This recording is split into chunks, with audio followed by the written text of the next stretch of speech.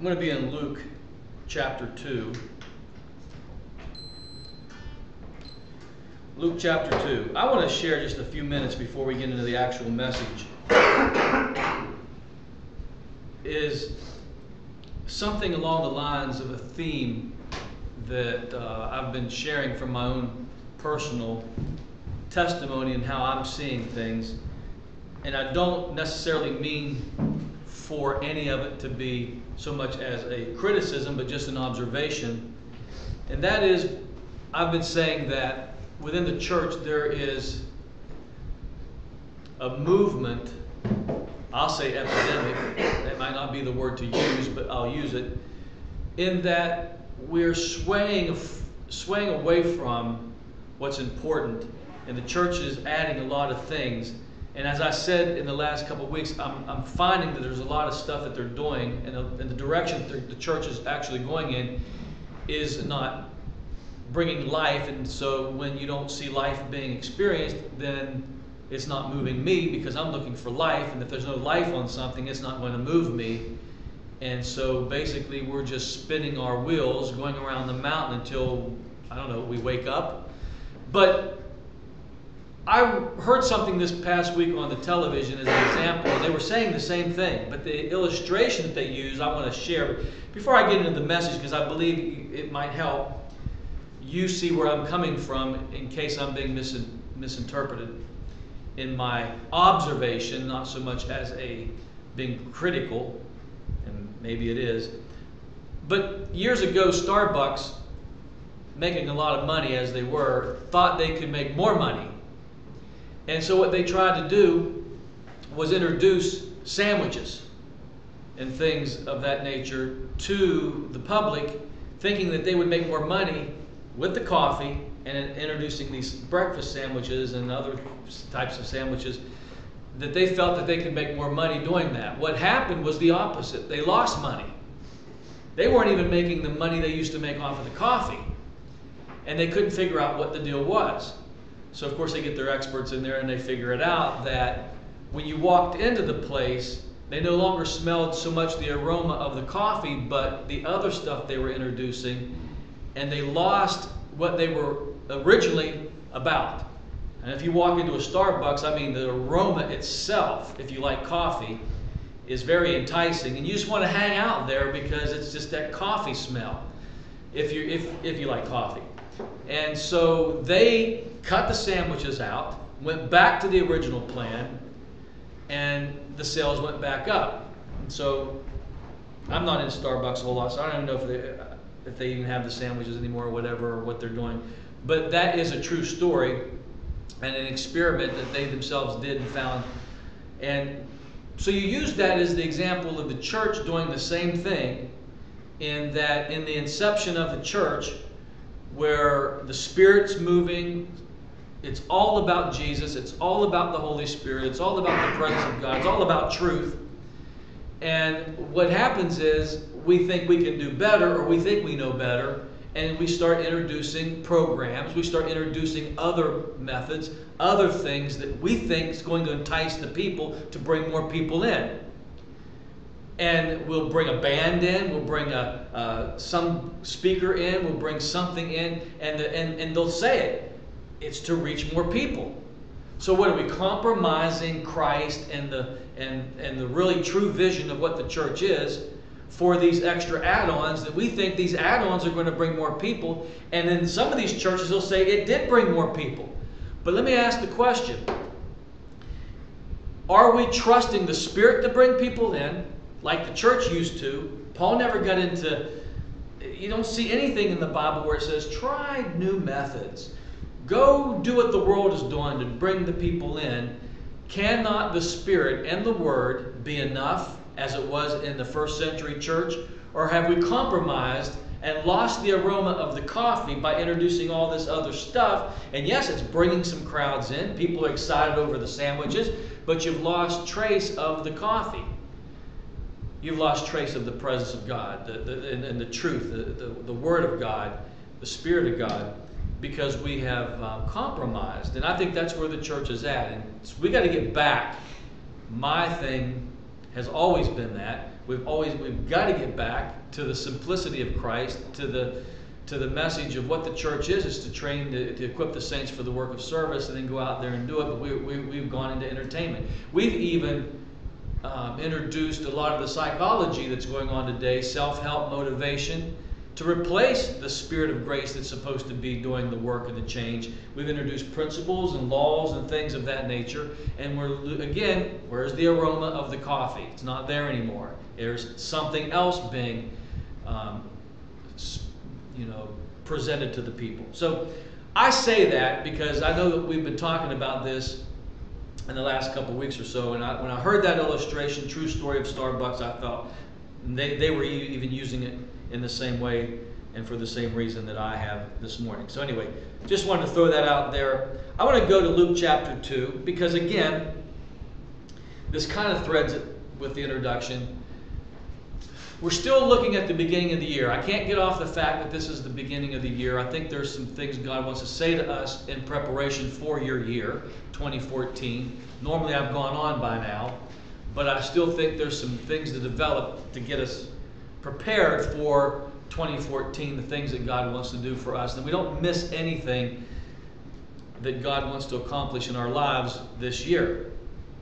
As you've known in the past years, I have been, like you, listening to messages, whether it's television or whatever, about the great things that God wants to do in your life, whether it's 2010, 2011, 2012. I've been through it all these last three or four years. And all the promises and all the great things that they told me was going to happen for me did not happen. And so it didn't mean I'm not that smart, but it doesn't take a rocket scientist to figure out after about four or five years of pressure and temptation and trial. And the following year, these guys mimicking the same stuff just to move the crowd doesn't work for me anymore. So I step back and I say, okay, Lord, I know that what they're saying are actual promises. They're not necessarily translating into my life, they're not manifesting. Now, I know what they would say to me. Well, you didn't have faith, or you didn't do this right, you didn't hold on. And I'm sure some of that may be true to some degree. But what's missing in these messages? Besides the fact of the great things that God wants to do in the promises, and you've probably already heard it because we're already what? This, what is this, the second or third? What is this, the second Sunday? So, you know, you've already heard them.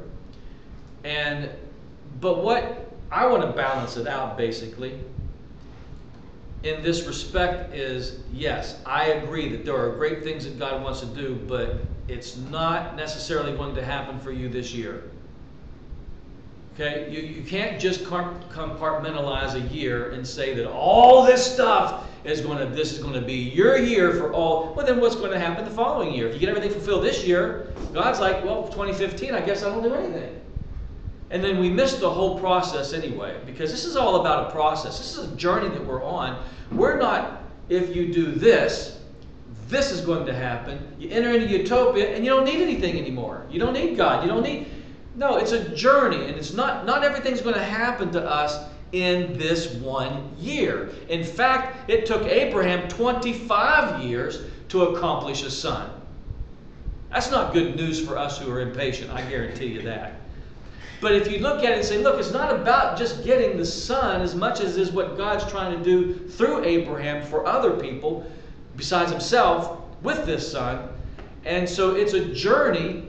Abraham had to learn some stuff before Isaac showed up. I mean, the fact that he would go to Egypt and leave the land of promise because of a famine and go down to Egypt, that wasn't, there, there was a flaw in Abraham's faith, in Abraham's life. His his um, conception or his perception of God that caused him to go down there to Egypt. So he had to go through that aspect of his life. I don't know how long that was, how long it took him to get there, how long he was there, how long it took him to get back before he came to the place that he left in the beginning, Canaan. I don't know how long that was. Was it a year, two years? It'd be interesting to find that out. But I don't know how long that was. It doesn't matter because it was time out. He took a wrong turn because he didn't see things right. He didn't understand things right. There were still truths he needed to learn that got him off course. God didn't condemn him for it. God still walked with him and showed him things during that process before the promise came. I told you the hardest time is between promise given and promise fulfilled. You get the promise, that's great. You jump up and down. You get the promise fulfilled on the other end, that's fabulous. But the in between, what I call the process, the journey, is where it gets tough because this is where God's going to develop us and develop the promise as well. But I want to show you something because in this year, yes, there are, I don't know what promises. And I'm not going to tell you this is your year that you're going to enter into greatness. I think we're being developed into greatness. It's a big difference saying this is the no no. You got to see that I have I am being I'm being groomed for greatness for the last five years. So you're not telling me anything I, I shouldn't already know. Yeah, this could be a year that God opens a door. This could be a year that I get my breakthrough. But this is not my year of greatness. I'm being developed into greatness. If I tell you this is your year of greatness, that means you've arrived and there's no more greatness for you to accomplish. You understand what I'm saying? So I'm saying, no, you're being developed for greatness. A door may open to unveil that greatness, but you're never going to arrive because God's got greater things in 2015, 16, 17, or you may go through three years of more training before another open door. You're always being developed for greatness. So don't get caught up into this. This is your year for this, that, or the other. It could be, but it might not be. Here's the thing what are you going to do when pressure comes to you? When these guys have set you up for utopia this year, for breakthrough, for greatness, and it doesn't happen, but the opposite happens more crap, more pressure, more pain, more suffering.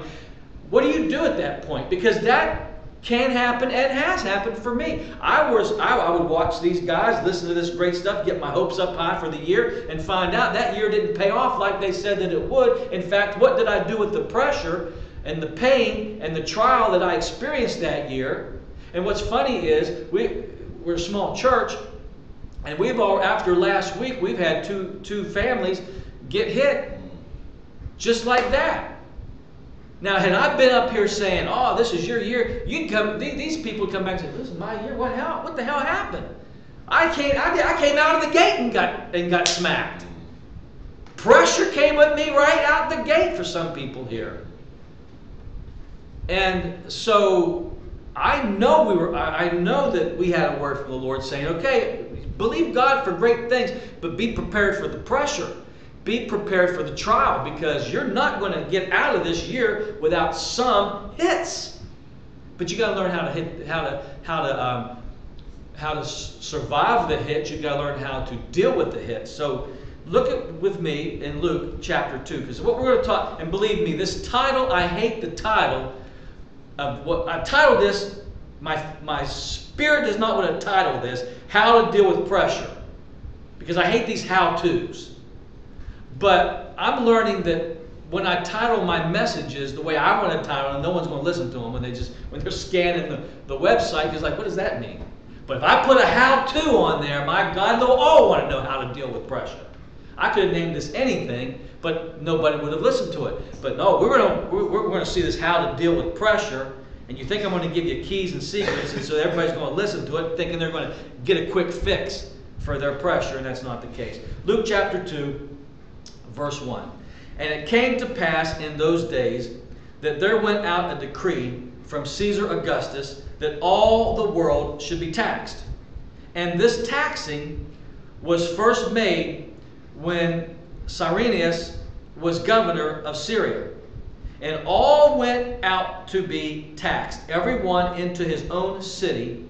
And Joseph also went up from Galilee, out of the city of Nazareth into Judea unto the city of David, which is called Bethlehem, because he was of the house and lineage of David, to be taxed with Mary, his espoused wife, being great with child, so she's pregnant during this taxation. She's pregnant. They have to leave where they are and go to Bethlehem to be taxed. And so it was that while they were there, the days were accomplished that she should be delivered. So, get the picture. Is that they're, I don't know if they're still in Egypt, but remember when Herod was going to kill all the kids and, and, and, and um, under three years of age or whatever, and so God told uh, Joseph to go to Egypt, and so they, they escaped Herod's decree of, of killing babies. And so they're there for however long. I don't know if they moved into, into Galilee at this point, wherever they're at. Um, they make their way to Bethlehem because of this decree of taxation upon the people, everyone in his own city. Now, the word tax, you can look at this word tax, and tax, any type of tax, whether it's money or something, a situation, this, this trial is very taxing to me. We use that term tax. Taxing, this thing's taxing, or the actual tax of money that you got to come up with that maybe you didn't save, that's pressure. I want you to see the word tax this morning, using it from this story as pressure. Because April 15th is pressure with people who have not yet filed their taxes. They're under pressure to come up with their money or their, their um, to file, right? So see this as taxing, as pressure. It's, it's out of your comfort zone. Something's happening that's pressuring you, and if you're not careful, you'll think it's opposition when it really is a setup, a divine purpose of God. For instance, Mary and Joseph would have never gone to Bethlehem had not the decree of this tax be given to the peoples. They would have stayed there in their comfort zone where they were safe and secure. But because of this, for, this, this heathen king who wasn't hearing God, it's not like God gave him a vision. He's in the will of, I want you to tax the people. That's taxing the people is not a blessing, is it? Is it a blessing every time our government raises our taxes? No. What's it do? It puts more pressure on our finances and causes us to spend differently or maybe have to get a second job. I don't know. But the fact is that Mary and Joseph would have not left the place of comfort if there wasn't a decree of tax put upon the people. Now, nobody during this time saw this tax, because everybody got it, as a blessing. No one's jumping up and down for joy when this decree went out. It was just like, oh God, here we go. And because they're not in their own city, they have to travel to get to where they're originally from to be taxed. So he can't be taxed in Egypt or Galilee or wherever he was. He had to make his way to this city where he came from. But here's the reason it's prophesied in the Old Testament that Jesus would be born where? In Bethlehem. They would never got there. They didn't read that scripture. I mean, even Mary knowing this didn't didn't say, "Oh, wait a minute, I'm carrying the Messiah." And I remember reading somewhere in the Old Testament, he's to be born in Bethlehem. Hey, Joseph, we've got, I'm almost ready to give birth here. We got to make it to Bethlehem. That's not, she ain't that smart or she is not that spiritual. It had to be because of this tax decreed by this particular guy, this king, that moved them. So, in other words, what I want you to see is this tax, see it as pressure on Mary and Joseph to move them to the place where Jesus is going to be born. Does that make sense? Now, we see in the Bible that every man's being taxed here on, in, in his own city. Now, the purpose of pressure was to push, as I said, Mary and Joseph to Bethlehem because why? This baby can't be born anywhere else. God will not say, well, you know, they're weak in faith. No. It is decreed by God that Jesus is going to be born in Bethlehem. And so if he can't get them to move there by the Spirit, he's going to put pressure on them to get them where they're supposed to be. Why? This baby can't be born anywhere else. It's not an option, right? It's got to be in Bethlehem. So what, what I want you to see here for your year of 2014 that whatever you're carrying, the vision, the dream, the word, whatever it is, can't be born anywhere but the place God wants it to be birthed. So in other words, God, you, you, you can't come under so you can't come under pressure and say, well, because of this thing, I'm going over here if God wants you where you are experiencing the pressure, or if you're in your comfort zone and God wants you to get what He has for you somewhere else, he's going to create pressure. The fact is, whatever it is you're carrying, which is the purpose and plan of God, your destiny, cannot my destiny can't be fulfilled in any city in this country. Right or wrong? if that's the case, we're all going to Florida or Arizona or somewhere south out of this cold weather. No, we realize my flesh wants to be down south, but I know that I can't fulfill destiny but in one place, wherever it is that place is. The placement of God in my life is key in giving birth to what it is that God has put within me or put within you. So you just can't get your promise anywhere. You just can't get your vision fulfilled anywhere. You've got to be, now listen, at the right place, at the right time, and surrounded by the right people, just like Mary and Joseph was. They could not get that thing accomplished in their life in Egypt. They came out of Egypt. Abraham couldn't get Isaac born in Egypt. So he had to go through the process of Egypt, learn what he had to learn, get back to the place of Canaan. Why? Because that's the place Isaac's going to be born. He's not going to be born in Egypt, he's going to be born in Canaan. And so, what we've got to understand is the pressure you're experiencing right now may not be opposition, it may be God putting you where you need to be or teaching you. Not that God's putting that pressure on you to teach you, but He is stirring you because we're not seeing things the way we're supposed to see them. Sometimes we are in the flesh, we're in carnality, we're in all kinds of situations where we're not hearing, we're not seeing, we're not sensing, and God's going to allow the pressure to come in order to move you, whether it's moving you geographically or moving you in your in the spirit realm to a higher place, a higher dimension for greater glory in your life. The pressure is to get you to maybe get something you wouldn't have got had you stayed in your comfort zone. And you know this to be true that many times we we, we receive a blessing because the pressure was on that caused us to seek God in a greater way than what we would have sought Him while things were going great. I mean, some of my greatest revelations was because the stinking pressure of life was so bearing down upon me that made me say no, I no, and rise up and grab a hold of God maybe in a way I wouldn't have grabbed a hold of Him had the pressure not been there. So without pressure, listen, literally, figuratively, and literally, without pressure, a baby can't be born. Because what's the doctor say to the woman? Push. Push. What she, she's putting pressure on that area of her body to bring forth this baby.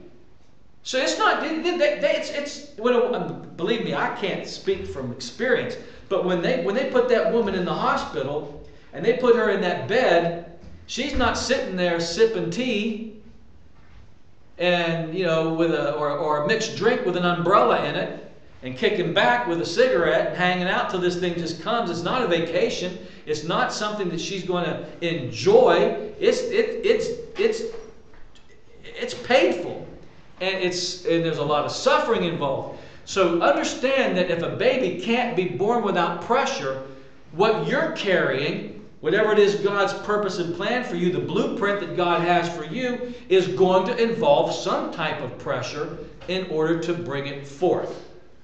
So without pressure, that which is in you cannot come out of you. It's pressure that pushes you from where you are to where you have where you've got to be. Pressure then becomes the agent driving us to our destination. So we got to quit looking at it as our enemy, but as something that God can use or is using.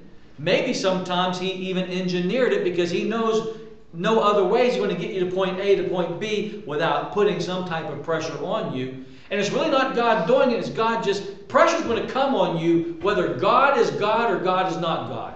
Because of this life in which we live is not a utopia, so there's, there's pressure out there to be found. Right?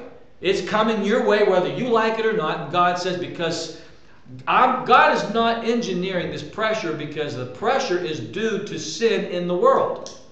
So God didn't bring sin into this world, man did. So the pressure is man made from the enemy. And God says, I can't do nothing about it because I allowed it to happen, but I am going to use it for my glory. And I'll engineer it, I'll orchestrate it, I'll do what I, I'm not the originator of it, but it's here and it's on you, and I'm going to use it for my glory.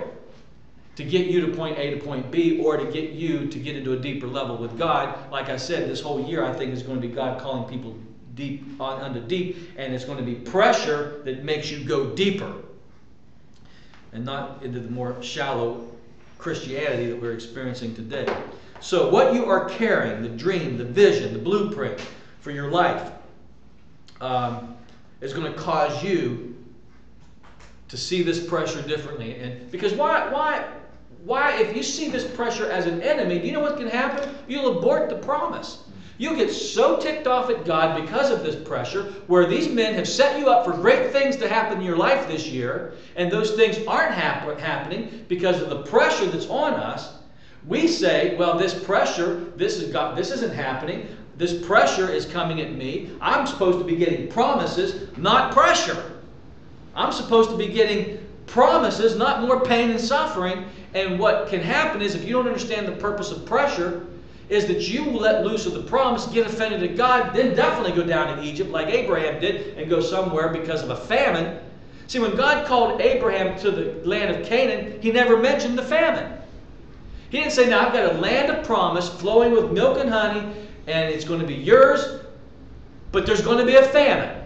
And what I want you to know is I want you to stay there during this famine because I'm going to take care of you. Then he would have understood.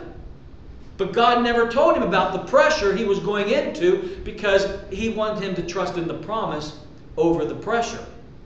And so, what you're experiencing today, you've got to say, wait a minute, just because I'm going through some tough times doesn't mean that God's given up on me or that the promise isn't going to happen or that the process is all now skewed because of this pressure. No. In fact, it is part of birthing this thing. Nobody wants it, but it's there. No woman wants to sit in that delivery room and experience the pain and agony and pushing that she's got to go through, but it's part of life, and pressure is part of trial, pain, suffering is part of our lives, and we need to see that God can use it for His glory and not, not see it as, as it. And even if it is from the enemy, I've got a promise of God that God can take anything the devil throws at me through faith and entrusting myself to God, that no matter what the devil throws at me, it's going to work out for good. So there's no depression at this point then. There's no discouragement. You just buckle up, you know, get, get your faith, step out in faith and hold on and endure what it is that you're going through because it's through faith and endurance, the Bible says. Faith and endurance. Faith or patience, patience means endurance.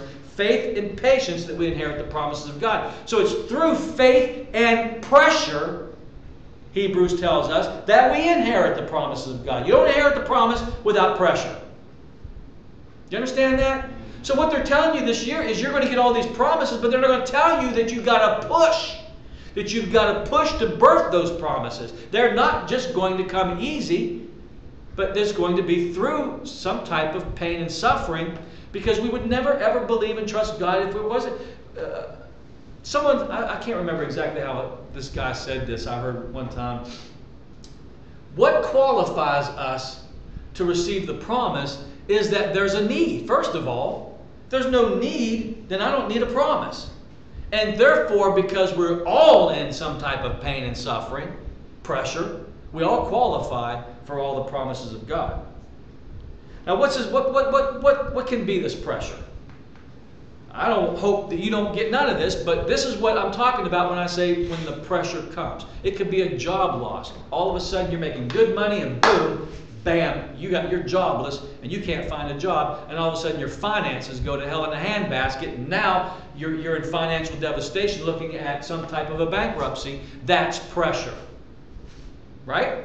A divorce. You thought you were going to live the rest of your life with this woman and boom, she ups and leaves you, or he ups and leaves you, and now your whole life is disoriented. You're disconnected. You're displaced now. You don't know what you're supposed to do. Your life is starting over again. You got to create a new normal, and all. And I'm telling you, all of a sudden, that's pressure, right? right? Or a death of a loved one. Maybe it's not divorce. Maybe it's death, and now you find yourself alone because of the death of that person and so tell me that's not displacement That's now your whole life changes. That's not pressure put on you. I mean, these events take place in the lives of people every single day. If we don't prepare people for this kind of pressure, they're going to be devastated because they're going to understand the pressure is part of the process of God getting you to, from A to B. It's not that God killed that woman, not that God took that guy from you. It's life. But God says, I'll use it to get you where I want you because he who began a good work is going to finish it. The pressure's not going to keep God from putting you in purpose and destiny. In fact, he'll say, Yeah, the devil meant that for evil, but I'm going to turn it around for good. So the pressure's not devastating me, although I'll feel the pain and, and, and, and suffer from it. But my faith in God, who says I'll turn this thing around, can get me still on my purpose and destiny. So when I understand that God, Jesus, who be, he who began a good work will bring it to completion, tells me that no matter what the enemy throws at me or what people do to me, whether it's my own wife or my own church or whatever, it's not taking me out of the purposes and plans of God. It may be a setback. It may knock me back. It may knock the air out of me. I may have to regroup for a couple weeks or a couple months. But I'm holding on because I'll get to where I'm going. Because nothing, according to Psalms 33, nothing can thwart the purposes and plans of God. So, I know, and I told you this last week, we know of people, when the pressure came on them, they folded. And, and God says, I don't, that's, not, that's not the purpose for pressure, is to get you to fold or to get you into depression or to get you into discouragement. I want you to see that take this pressure, this pain, this suffering, because it's I'm taking you somewhere through it. How fast is if I've never known God I get hit. I've never known God very often to take it out within the 24 hour period that it came in. I mean, as quick as it came, it don't leave that quick. Not that it can't, but normally it doesn't. It's like, man, this thing's in my face now. It's breathing down my neck. And it, it may came within 24 hours, but it's going to take 24 months to get, it, to, to get through it. That's just how life is. If you don't believe that, why didn't Jesus just rebuke the storm before the storm came? Why not Jesus? You, you knew God knows all things. Did God not know there was going to be a storm when He said, Get into the boat and go to the other side? I mean, would you rather have Jesus as your weather forecaster or the Weather Channel? Huh? Well, Jesus is like our meteorologists. They can't predict the weather. Because he didn't know that storm was coming, did he? God knew. And yet he still told Jesus, his son, to get in the boat and go to the other side. God, knowing full well there was a storm, pressure was coming. In the storm as a result of what? Pressure, cold, heat coming together, producing tornadoes. That's pressure. So they were experiencing hurricane, the, the literal Greek is hurricane winds. So they knew they were dead. So they go to Jesus, and he's sleeping in the midst of a storm. Now, watch this. Listen carefully. Do you know why he was able to sleep in the midst of that storm? In the midst of pressure? Yeah, well, here's the, here's, the, here's the ticket. Here's the key right here. Although Jesus was, in, was, was experiencing a physical storm on the outside, but what caused him to sleep was he had no storm on the inside. These guys let the storm on the outside produce a storm on the inside, and they folded like a cheap, what? Tent. Suit. I don't know. Like a cheap tent. Yeah. I mean, they buckled under the pressure right off the bat. They threw the water out a few times, and that was it. We're done. We're dead men. Jesus in the storm, outwardly, was able to endure and go to sleep because he, he had no storm on the inside. He was in perfect peace and tranquility in relationship to the Father, and he knew he was going to the other side regardless what life threw at him, what pressure he experienced. See, that's what I want you to see. Don't fold under the pressure. See it as part of getting you to the other side. Or, or, or in this case, it exposed the lack of faith in the disciples. And see, pressure is this process between promise given and promise fulfilled is to show us things about ourselves. These guys had probably cast out demons, but they've never ever controlled weather. They never knew they could do that. That's why they got rebuked, was Jesus said, You could have done this yourself. I could have stayed asleep. See, they've never ever had an occasion to rebuke weather. So if the pressure never came, they would have never knew that they could do this kind of stuff. See, what I'm saying is, and I'll, I'll probably say this again at the end of the message, but let me just say it because it's, it fits right now, is that one of the reasons why God allows us to go through these things because things come out of us we didn't know was there. I didn't know I had that kind of faith. Or I didn't know that, man, I, I didn't realize I could have done something. Or the opposite. Man, I didn't realize what a jerk I was until that pressure came on me. Ah, there's some deep seated things in me I got to take care of, right? I mean, if pressure comes on you and you beat your wife and you kick the dog and throw the kids up against the wall, we got a problem here. And thank God the pressure came. You would have never known you had that problem. Huh? See, God's going after truth within us. And we don't really want truth. You say, God, try me and see if there's any wrong in me, like David did, man, I don't know if I want to pray that. I know there's wrong in me. Don't let me see it. I mean, here's a guy who thinks his crap doesn't stink. He's a religious freak and all of a sudden some girl shows up at the wrong place at the wrong time, and he has an adulterous affair, and now he didn't know that was even in him. Now, did God cause that? No. God definitely did not cause that. Could God stop that woman from being at the wrong place at the wrong time? Absolutely. He could have stopped her. He stopped Abimelech from having sex with Sarah, Abraham's wife, because Abimelech didn't even know it was his, his wife. He told her it was his sister. But he stopped the man with a dream. So I know God can intervene and stop things, but he's like, why would I let this man con- continue with adultery in his heart? He doesn't know in his head what's in his heart. He's this far from, from knowing what, what's in his head from his heart. And God said, I'm going to let this happen because I don't want him to walk around for the next 50 years lusting after women because he doesn't think his stuff doesn't stink. I'm telling you, when pressure comes on, it reveals good the bad, and the ugly, and God is not afraid because He sees your heart every day.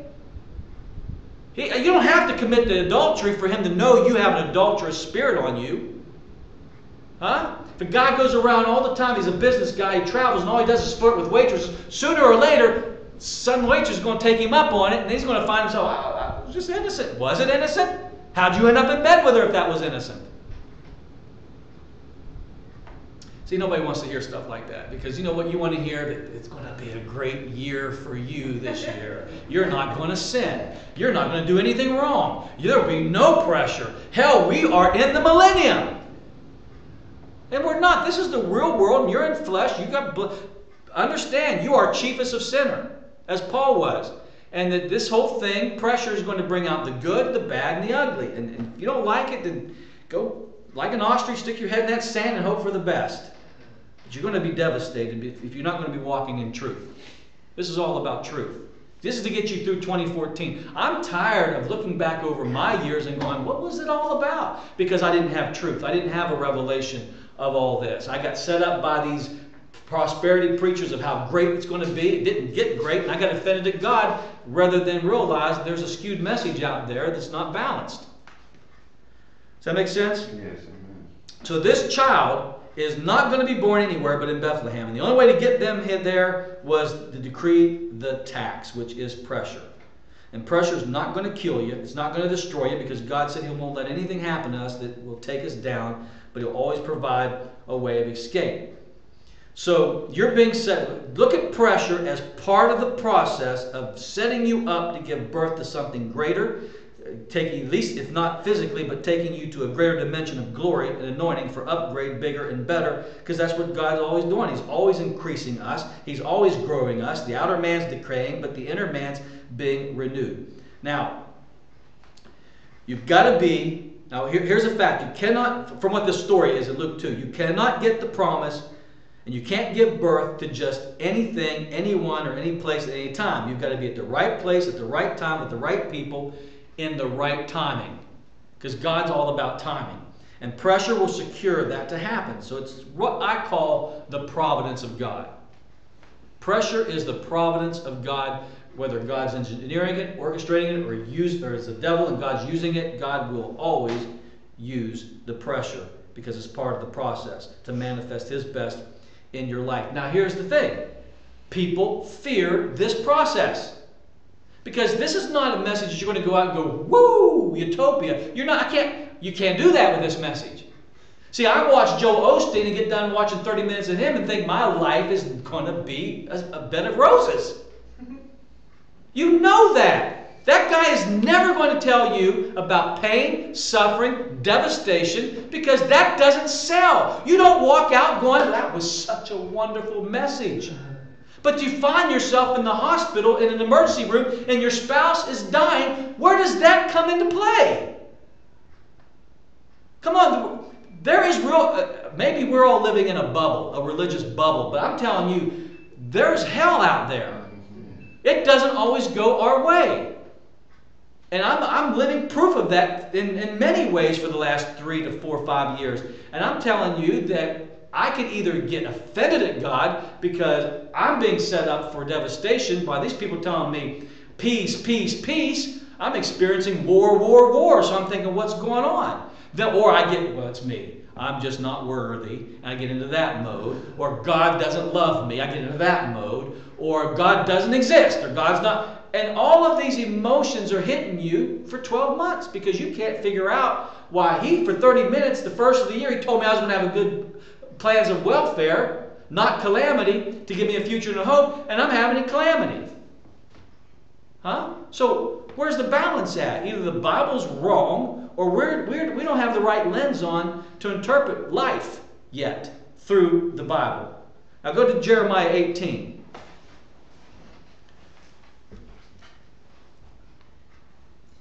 Jeremiah 18, verse 1 says, The word which came to Jeremiah from the Lord, saying, Arise and go down to the potter's house. And there I will cause there, thee to hear my words. Now he says, Oh, we've taught on this before. It doesn't matter. I can teach on the potter's house every week, and ain't going to take you off his will. You got to understand this thing that he's going to show Jeremiah never ever changes in your life.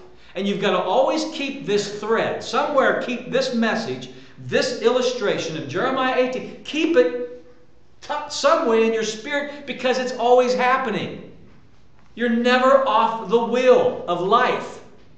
You're off this wheel when you get to heaven. Now, this is what he says to him Go down there and hear my words. Jeremiah 18. Then I went down to the potter's house, and behold, he wrought a work on the wheel. Now, he who began a good work will bring it to completions. I think that's Philippians 1 6. So right there tells me, He who began a good work will bring it to completion. When's it completed? When is the work God began with you?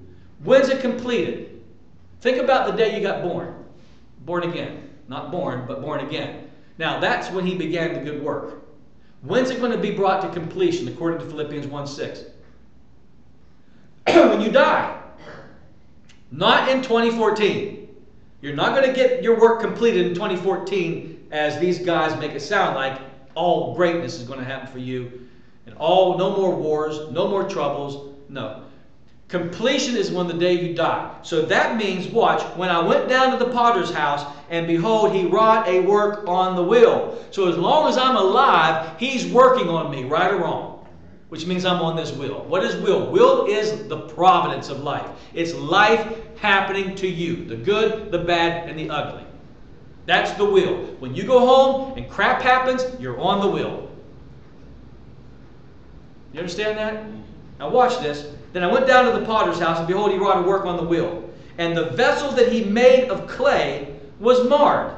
That's that, I know that's me. I'm marred.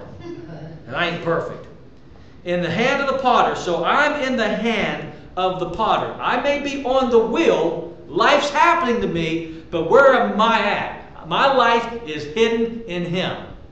I'm in His hands because He's working on me. I'm not alone in this thing. I'm with Him. I'm in Him. He's in me. I'm in His hands. And so, um, so the, the clay was marred in the hand of the potter so that he made it again into another vessel. And there's your sanctification. As seemed good to who? You? The clay? The potter. So that means God's in, you don't even have a say. And you know, how, you, you know my, my saying, I've said this a million times since the 90s the clay has no say. The potter does. So you can't go telling God what he should do, what he shouldn't do, because that clay can't say, I don't want you molding me this way. I don't want to be here. I want to be over there. I don't want you doing this. I want you doing what you're doing in that guy's life. You, the, the clay, you got to just embrace the things that God is doing in your life because that's God molding you. That's you on your will, you on your individual will, in your individual life, in the hands of the potter. So the clay has no say and it's, and it's whatever seemed best to the potter to make it. Then the word of the Lord came to me, saying, O house of Israel, can I not do with you as this potter in the clay? Behold, as the clay is in the potter's hand, so are you in my hand. And we go to Hebrews 13 and see where God says, I'll never leave you nor forsake you. I will never let loose my grip from you, the Amplified says.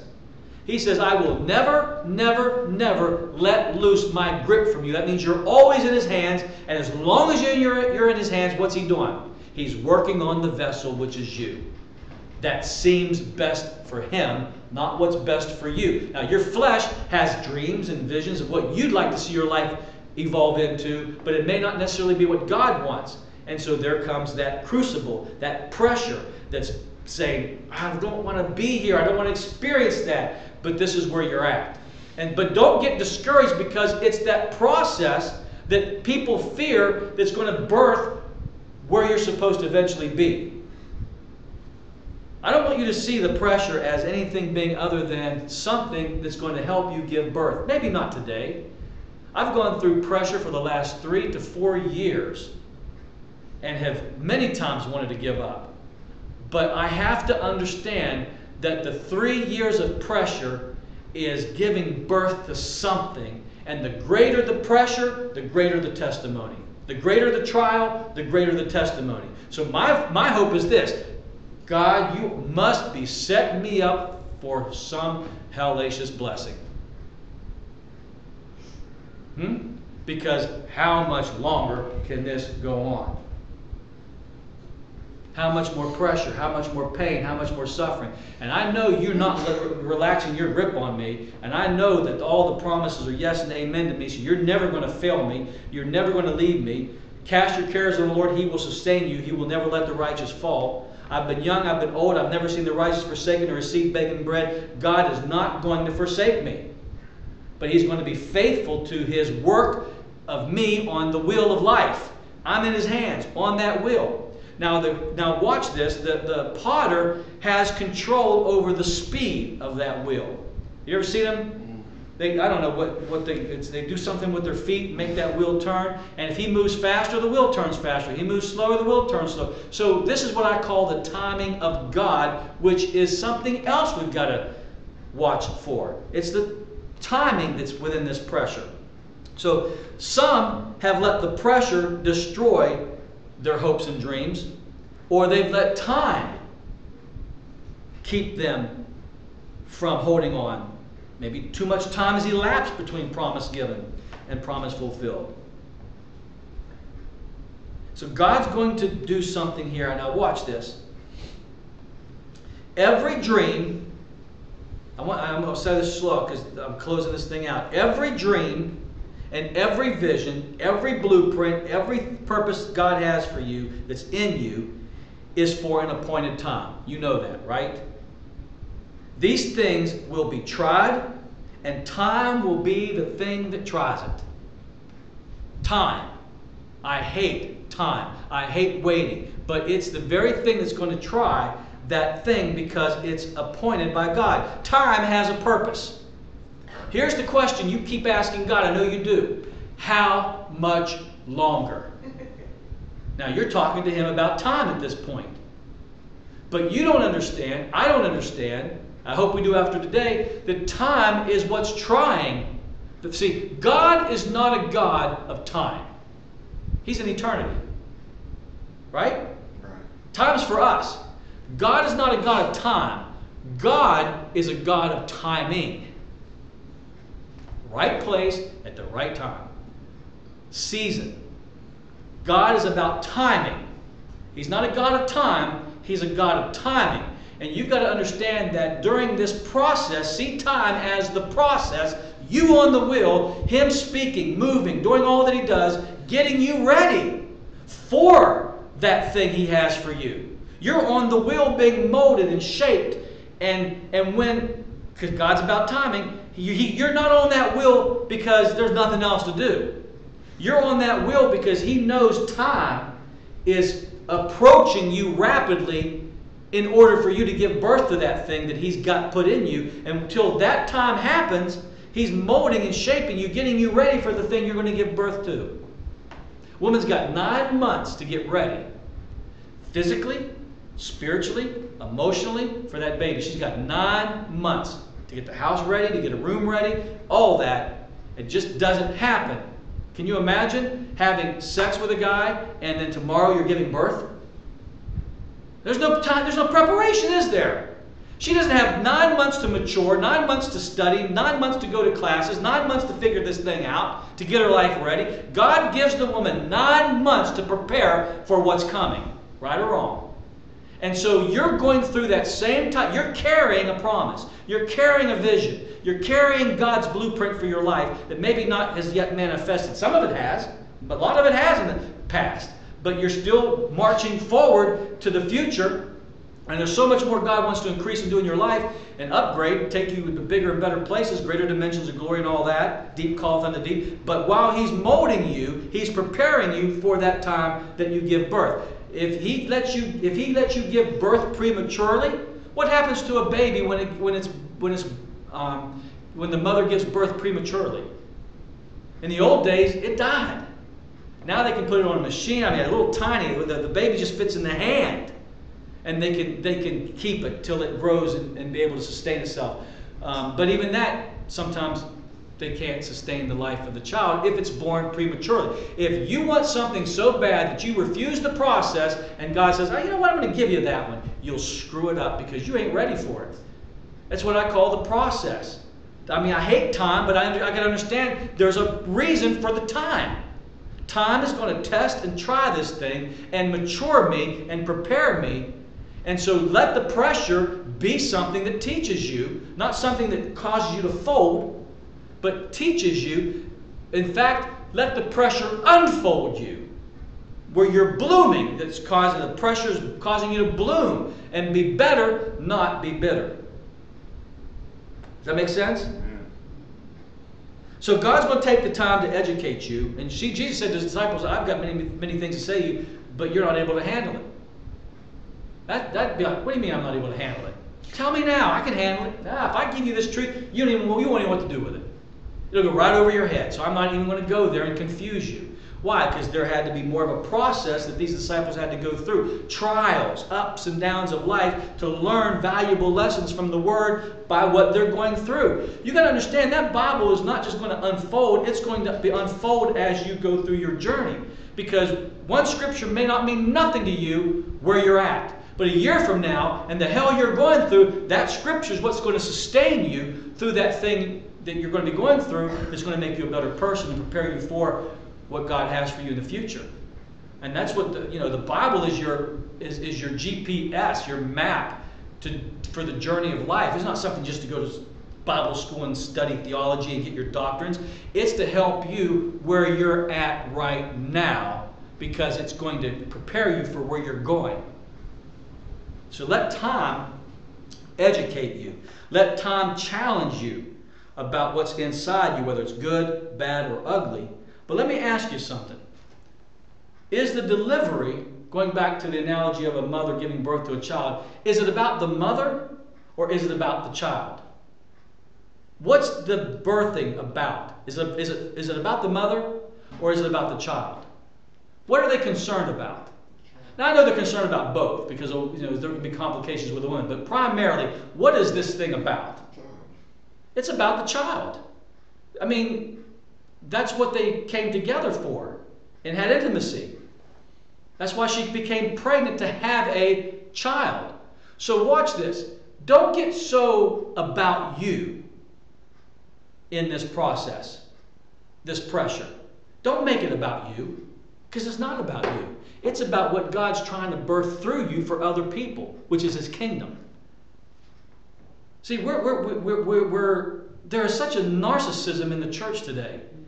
It's everything's about me.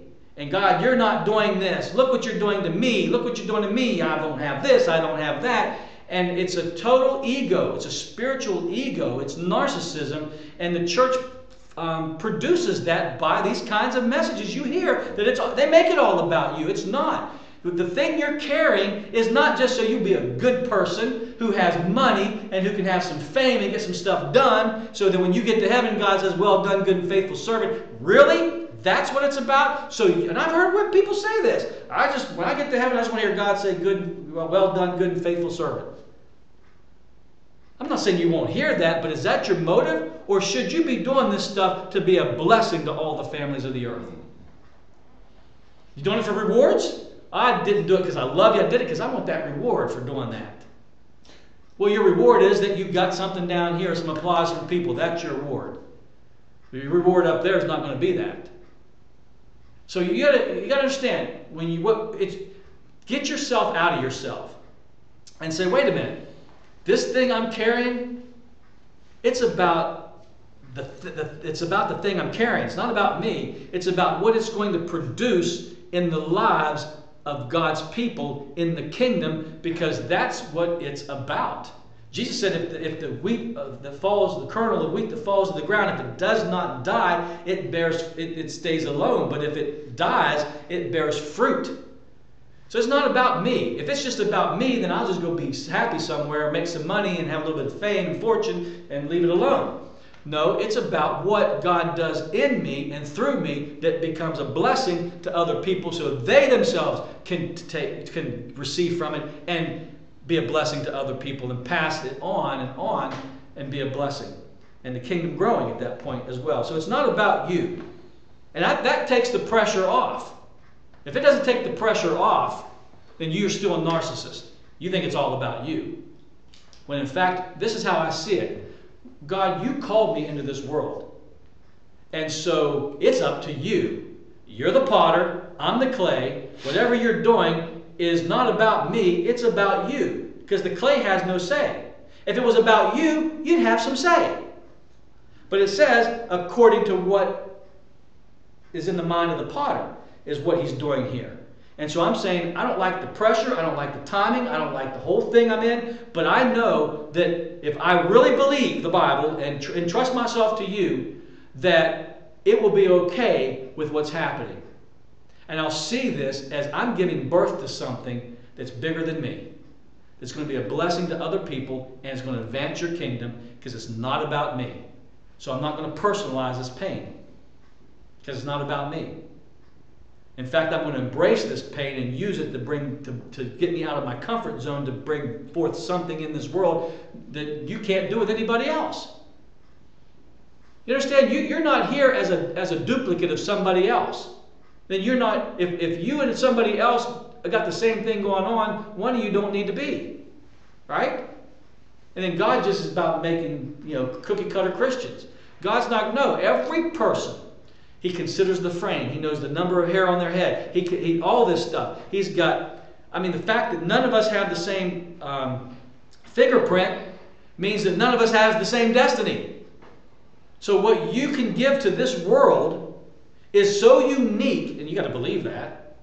See, one of the bad things about socialism is you're just another number, another brick in the wall. You don't have any. You're just like everybody else. Where a, a free society, you can be your own individual and you can make a difference. And what I'm saying is that's the way the kingdom is. That God's created you to do something in the kingdom that nobody else was ever designed to do. So see your pain, your suffering, the pressure, the time, all that stuff as the ingredients that's going to put you in the place you need to be to express that uniqueness God called you to be. And that you're in hiding. Look at it, I'm in hiding being molded. And one day there'll be an unveiling.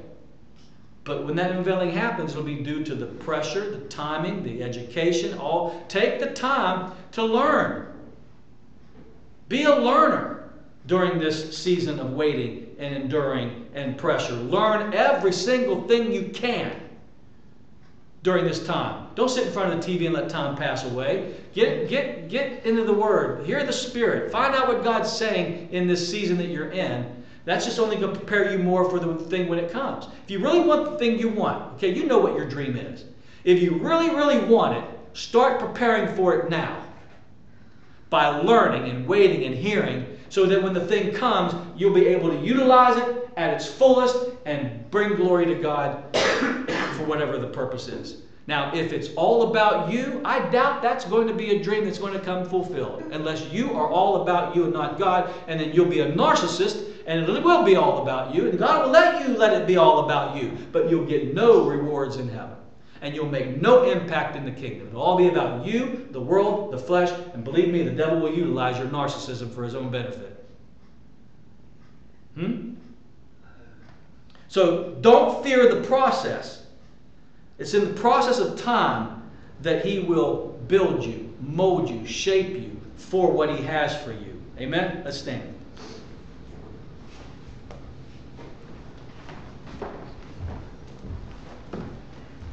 Every one of us, God, is on your will. You, you are individually.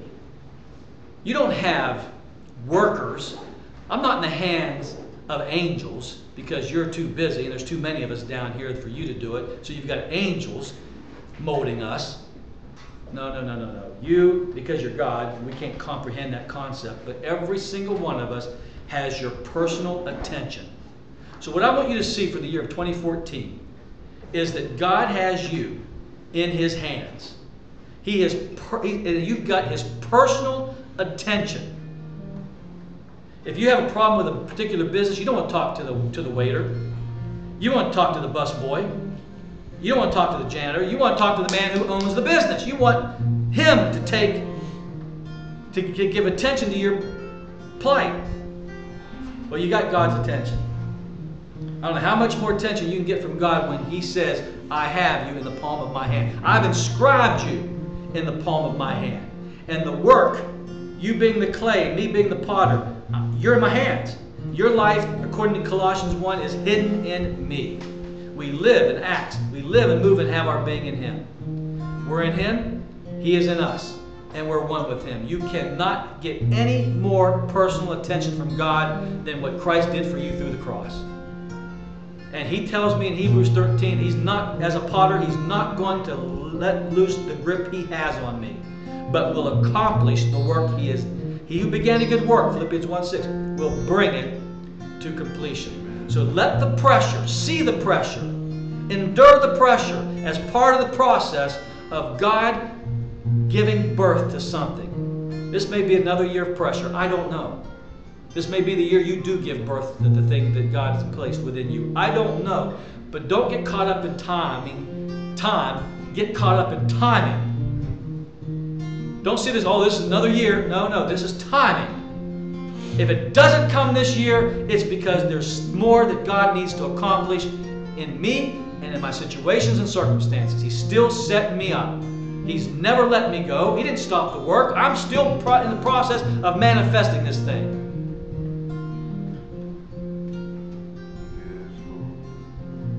That gives you hope.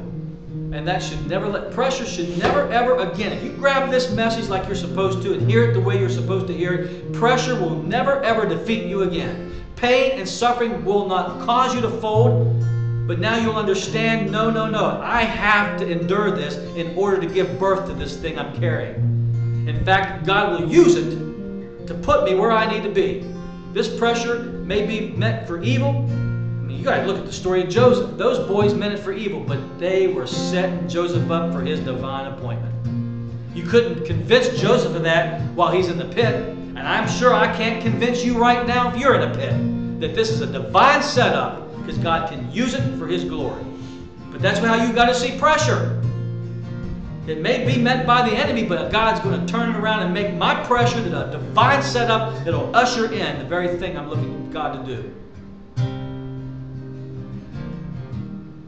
There are no wasted years. If they're wasted, you wasted them because you didn't have eyes to see and ears to hear what God was doing. You did not have the right set of lens on, and that year you folded. And I'm telling you, we can't not let another year go by where we get fold, we, we fold up because of the pressure. Because we're not, we're only going to make the process longer. If I if I waste a year, I have just made the process longer. How bad do you want this thing to happen and the suddenlies of God to happen is just stick with the program. The minute you fold, you go to Egypt. And Abraham cannot give birth to Isaac if he's living in Egypt. He's got to work out his problems in Egypt and get his head on straight and then get back to Canaan where he's going to give birth to something. He's not going to give birth in Egypt. He's only going to give birth to the things of God in Canaan. So you can go ahead and fold up this year. You can get depressed, discouraged, and just give up, but let me let you know that means you're still in Egypt and you're never going to give birth to the thing in Egypt. Get it right. Understand that no weapon formed against you shall prosper. So therefore, stay in Canaan, stay in the Spirit, stay within the promise, learn as much as you can through the process. You're on the wheel, and in God's timing. Quit looking at time. Start looking at timing. It's not about time, it's about timing. And I promise you, God promises you, you will give birth. God will take you deeper. God will take you higher. You will get into the places that God has prepared for you with no delay. So, God, this morning I ask one simple prayer give us eyes to see and ears to hear what your Spirit has taught us this morning. We ask it in Jesus' name. Amen.